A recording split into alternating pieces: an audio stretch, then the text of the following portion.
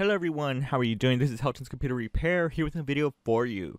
We have made a video before of showing you how to download and install Bitcomet, and technically this could have been also a possibility that you had Bitcomet installed on your computer by accidental or from someone else or just you don't really know, it just got there.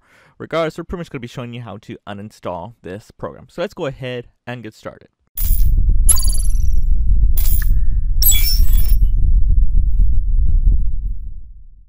So first thing you do is pretty simple. We do see the program. Technically, it does like to stay open. So if it is open, go ahead and search pretty much the hidden icons there. And you can right click on it and be sure that is exit out.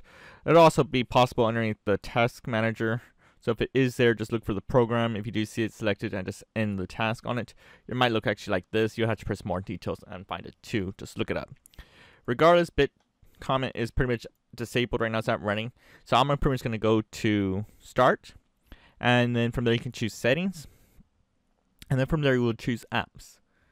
Once everything comes up let the program load up and by default pretty much on the top because it's pretty much a Bitcomet right there you'll see the program and all you pretty much have to press is uninstall.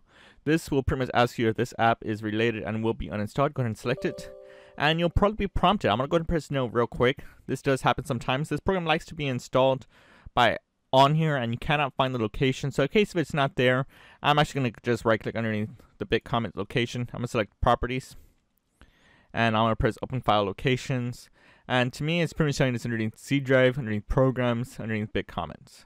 So pretty much you can just go to program files and there's Bitcomet. You can pretty much delete that. That'll pretty much do the same work for you.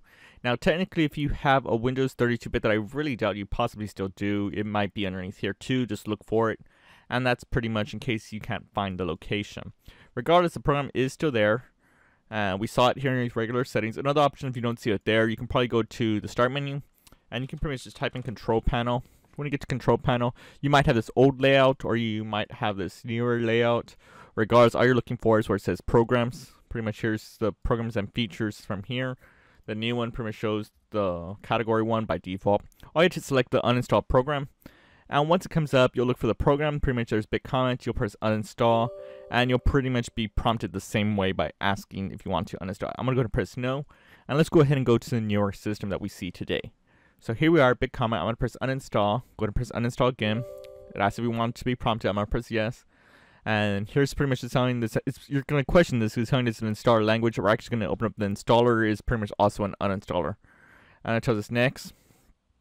And it's, it's funny because it's an installer to uninstall. Welcome to Bitcomet 1.8. This could change over time. Asks us to uninstall. Press next. Tells us the location where it's going to be uninstalled. Press uninstall. It's going to delete the files that are unnecessary. And press finish. And it's going to take us to your site. It's going to tell you why. If you want to get a report, their site doesn't even want to load, so it's hilarious. Um, so pretty much the program got uninstalled and we do not see it anymore. You might need to restart your computer.